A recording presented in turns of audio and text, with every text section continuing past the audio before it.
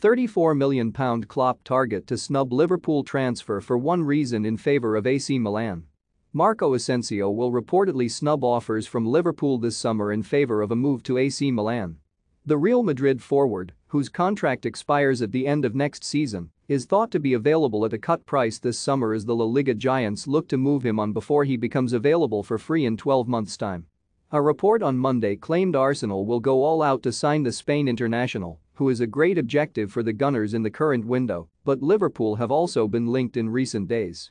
And Sport, via the Daily Mail, have confirmed Jurgen Klopp's desire to sign Asensio this summer as he looks to bolster his forward options following the departure of Sadio Mane to Bayern Munich.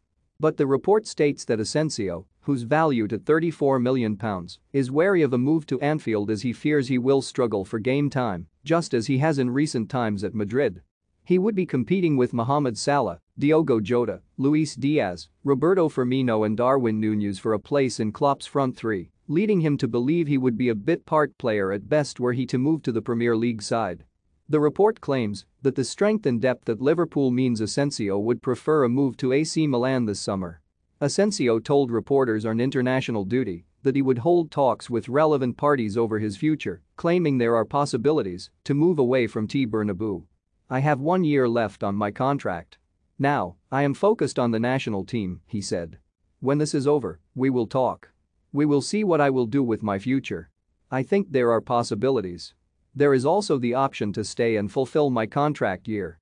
Rumors are part of football, and more so at Real Madrid. High-level players are always associated with it. It's something we have to live with.